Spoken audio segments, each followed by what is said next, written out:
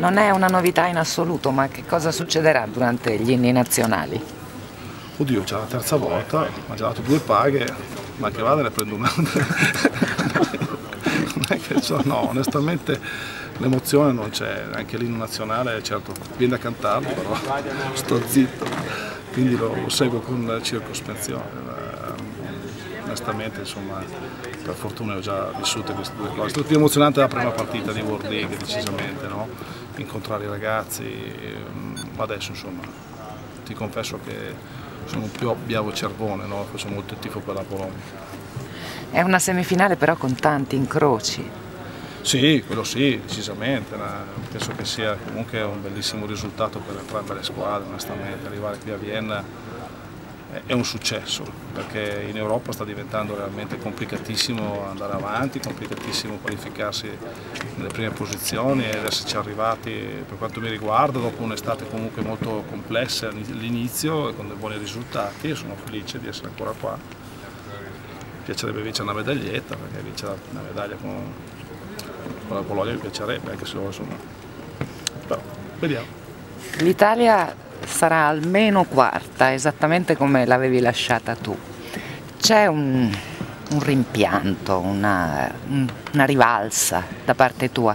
Assolutamente no, assolutamente. Io ho fatto il mio percorso ed era giusto cambiare, secondo me.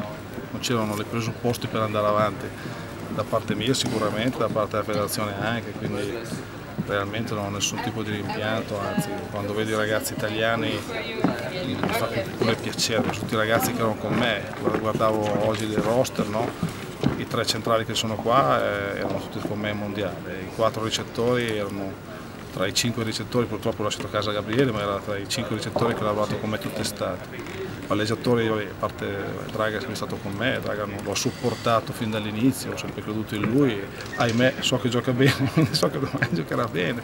Lo stesso Mick, insomma, un giocatore che ho sempre creduto tanto, un ragazzo straordinario, quindi non riesco a provare rivalsa.